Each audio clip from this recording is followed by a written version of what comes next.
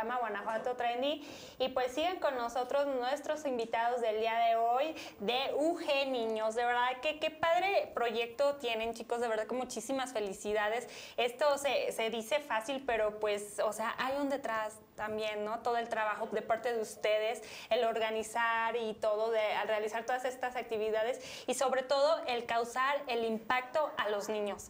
Eh, dejarles esta se podría decir como conciencia de que, ok, quiero, quiero ser de grande tal, ¿no? Entonces abrir como panoramas de, de que pueden hacer cualquier profesión que les guste, pues lo pueden realizar, ¿no? Y tampoco lo de muchas veces pasa, bueno, yo creo que ahorita ya no tanto de que tu papá era, por ejemplo, abogado y vas a ser abogado o tu papá, como nos mencionaban, ¿no? De cuando fueron a la, escuela de hierba buena, de que como ahí enfrente estaba donde se realizan las, los ladrillos. ajá, este, decían, voy a hacer eso de grande. Entonces ahora sí que abrir panoramas para que estudien lo que ellos quieran, ¿no? Lo que más les guste, lo que de enseñarles como la diversidad de profesiones, que no igual también que no solamente se enfocan como en doctor, abogado, no sé, dentista. No, es que hay muchísima variedad de profesiones, de carreras en las que se pueden dedicar y pues es eso, ¿no? Enseñarles la diversidad y que ellos elijan lo que quieran. Sí, principalmente, así como la universidad está, tiene muchas cosas dentro de los cuatro campos, León, Irapuato, Guanajuato y me falta una, Celaya. Y para también como parte de una expectativa de lo que en realidad hacen y también lo que me sorprende de este proyecto es ahorita la organización, dentro de la organización de Vanessa y Ulisa, es la cantidad de voluntarios que están sumando dentro del proyecto. Y ahorita dentro de la DCA se están llevando a cabo diferentes stands donde se están recibiendo lo que son los utilizados de colecta. Estos stands, ¿este stand está en qué, qué horario? Ah, tenemos diferentes horarios, ya igual también nos acomodamos. El día de hoy estuvimos de once y media a una de la tarde aproximadamente, entonces ya mañana vamos a estar otra vez de 10 a 1. Ok. Y ya, vamos a ir viendo los demás días. Pero igual, en Crepaso y en Babu. ahí no hay falla. O inclusive si quieren donar algo, pueden mandar mensaje a la página, o que niños, y ya se... Pues, ya cualquier voluntario puede y por las libretas o así, pero sí no Sí, igual mencionaba lo de voluntarios, realmente la respuesta que tuvimos fue muy buena en yo creo que un día, dos días, 70 voluntarios dijimos, wow. Qué padre. Creíamos que no lo íbamos a lograr, 80 se nos hacían demasiados, pero súper rápido que los obtuvimos. Entonces, yo creo que es un proyecto que igual eh, le llama la atención a, a, las demás personas, a los demás estudiantes que a lo mejor tienen como la misma ideología, ¿no? Tienen como, sí, yo también me gustaría como apoyar a un niño, a mí me gustaría como ir a convivir con los niños, pero, y ven la oportunidad y dices, va. Oigan, entonces si alguien del público, algún estudiante los está viendo y los está conociendo, pero les gustaría ser parte de UG Niños, ¿puede contactarlos para ser voluntario? Claro que sí. Todavía puede. ¿Todavía puede? Sí, sí, sí, todavía puede y bienvenidos todos ¿Hay los que quieren. un límite en donde ya... Tenemos, o sea, tenemos la tentativa de 80. Yo creo que a lo máximo nos iríamos a 100. A 100 voluntarios y ya es lo máximo. 100, o sea, entonces todavía pueden, ¿no? Y sobre todo ir a, con ustedes, conocer este proyecto y ya después yo creo que van a terminar enamorando, enamorándose del proyecto, ¿no? Sobre todo de los niños que son tan bonitos. Ay, sí. Sí, sí, sí. Con su inocencia. Con su inocencia.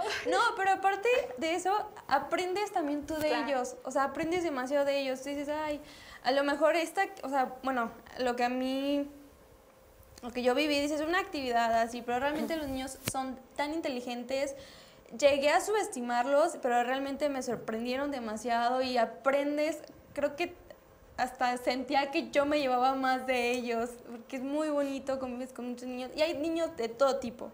el que el calladito, el extrovertido, y aprendes a convivir con cada uno de ellos. Oye, te, sacan tu niño interno, ¿no? Sí. te pones a jugar, te olvidas de también de lo de la escuela, de las tareas, de todo, te pones, vuelves a ser niño y eso es padrísimo, que yo creo que todos deberíamos de hacerlo, ¿no? Dejarnos a un lado un poquito de las preocupaciones, volver a, sacar a nuestro niño interno y disfrutar un poquito de, de esto, ¿no? Y entonces, si quieren participar, los encuentran en la página de Facebook como UG Niños. Sí. Todavía nos comentan, hay lugares. Pero hasta los 100 yo creo, bueno, yo creo, porque ya es como ya sí, ya son bastantes, pero claro que sí, ahí nos dividimos, nos repartimos. Oye, pero yo quiero saber la experiencia que te has llevado de, de esta experiencia, de esta bonita experiencia. Ay, es que no sé cómo explicarla porque realmente, eh, como te digo, era, fue el primer encuentro que yo tuve con los niños.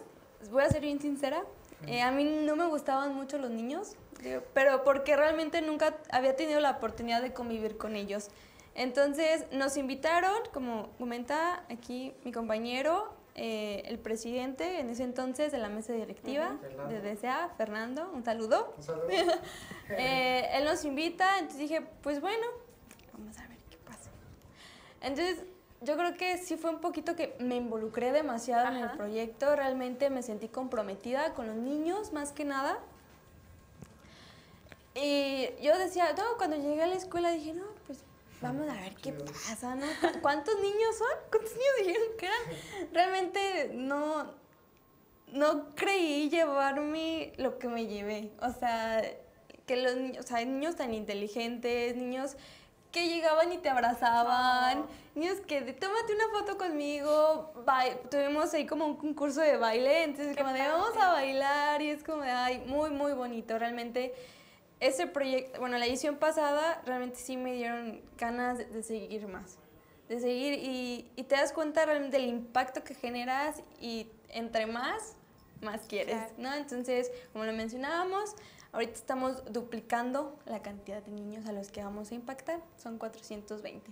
Qué padre, y sobre todo ustedes se llevan la satisfacción personal, que es como, bueno, por lo que nos platicas, y es como esa satisfacción que dices, wow, está increíble esta experiencia, ¿no? Única y, pues padrísima, como aprendes mucho de los niños también. Demasiado aprendes de los niños, sí, muchísimo. O sea, realmente, bueno, yo llegué a subestimarlos, de que, ay, pues una actividad como Cualquiera. o sea, como de, no, ya realmente estás ahí con los niños y ves que realmente son demasiado inteligentes, que ya están aquí en las vivas y dices, wow. Sí, sí, sí. ¿Y a ti, Sergio?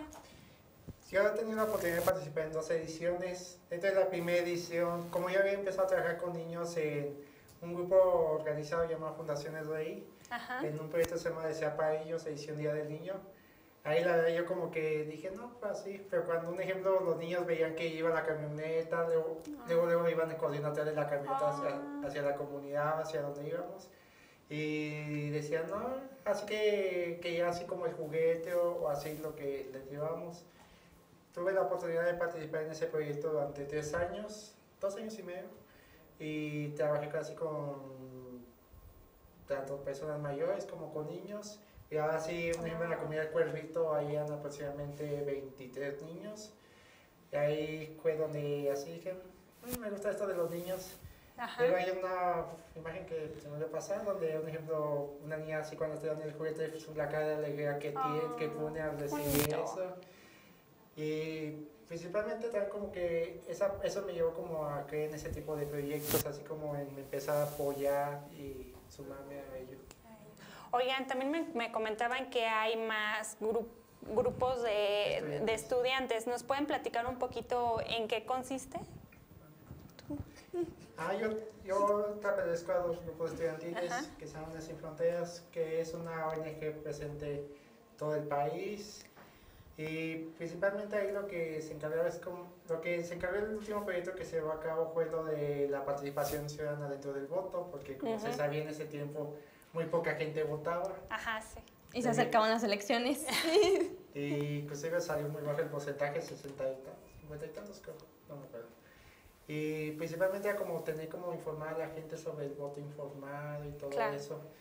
También dentro de Actitud Joven, hace poco se participó en un seminario que se llama Seminario de Líderes Integrales, donde se trabajó con 100 alumnos de, tanto de nivel superior como de nivel medio superior, donde ellos desarrollaban como un proyecto o, o un ejemplo, tenían diferentes temas que se tocaban cada una de las semanas, con tal de que ellos como que pudieran desarrollar un proyecto y así.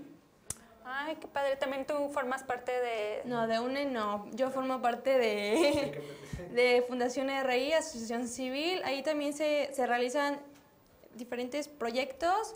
La mayoría son sociales. Se realiza el que es Desea para ellos, para ellos. que también es ir a, a comunidades vulnerables a apoyarlos. Eh, tenemos el Lego, Lego Pets, que es ir a primarias a dar talleres sobre los cuidados de los animales. Qué Y también participan, Sí. también de eso. Sí.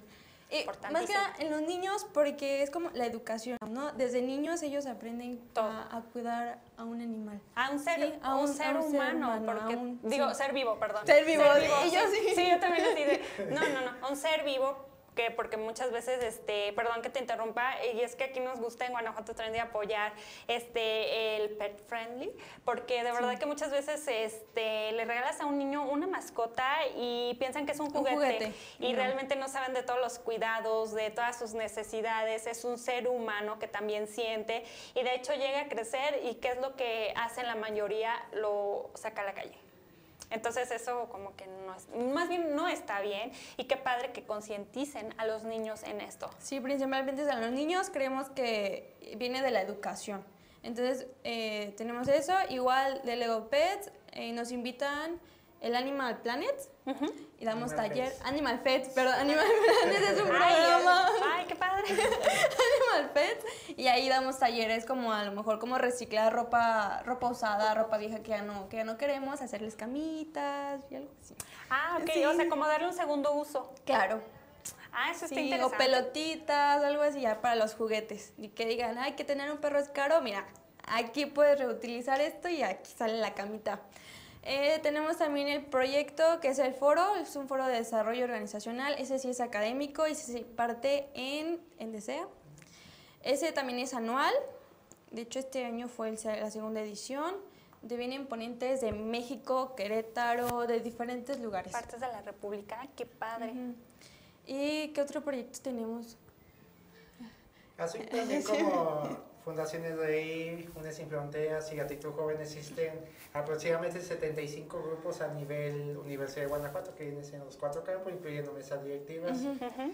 Y la verdad, algo de reconocer es como la, el apoyo que se ha tenido por parte del Departamento de Desarrollo Estudiantil, el maestro Osvaldo, que a quien le mando un saludo.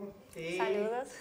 y pues principalmente lo que nos ha apoyado mucho es como a llevar a cabo estos proyectos, así como, mm, a, como, como así como a motivarnos, a, Claro. a buscar generar ese impacto que es.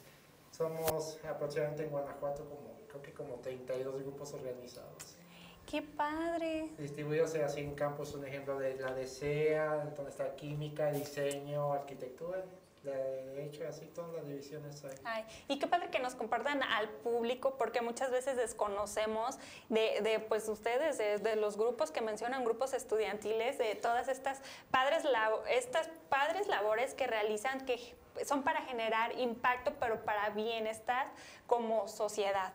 Y está padrísimo y de verdad que, que me da mucho orgullo que vengan a Guanajuato Trendy y nos compartan, sobre todo de los niños también, qué padre, para que conozcamos que, que sí, sí existe gente buena que se preocupa por el futuro de, de los niños que son como el futuro de México. Claro.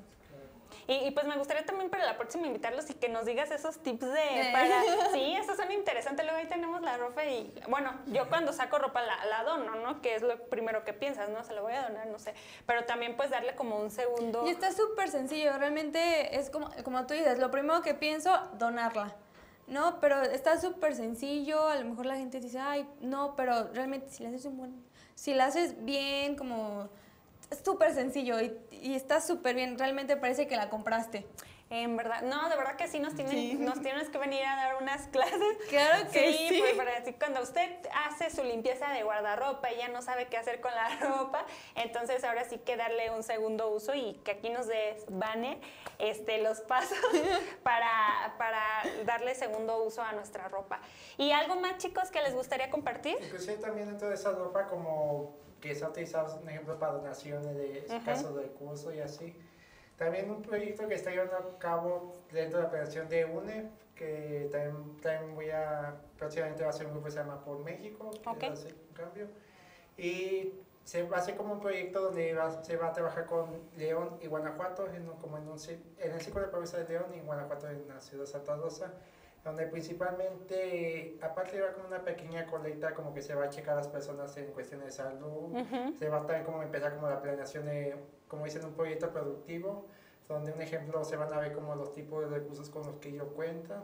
Porque mayormente lo que observé dentro de la comunidad de Santa Rosa es que todos viven del carbón y, y, las empresas entran ahí en camionetas y ya les pagan a las personas y es con los que ellos se alimentan. Y, y la así, las, un ejemplo, una vez me tocó decir, me dijo un niño, dice, no, yo para llegar a la escuela vengo a las 6 de la mañana, para 8 de la mañana. Caminando. Caminando. Y principalmente están como también como para apoyar un poco así como esa parte, inclusive para sacar la lista de comunidades marginadas se saca una lista de la sede Sol, donde se ve el grado de marginación y es donde se apoya este tipo de comunidades.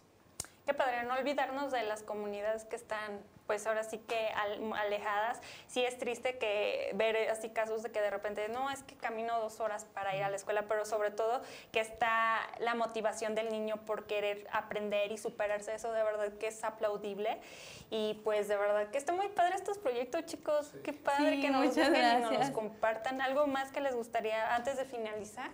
No, pues nada más que que se animen, si quieren participar como voluntarios en UG Niños, nos escriban en la página UG Niños, o igual si tienen la oportunidad de donar, pueden donar en Desea o en Crepaso y en Babú. Está súper y se toman un, un babú, vuelvo a repetir el comentario, que están deliciosos, de verdad. Una crepa, una crepa dulce. Ajá, una crepa. O igual en Desea, para que igual los conozcan también, claro. Así es. ¿Y Sergio, algo más?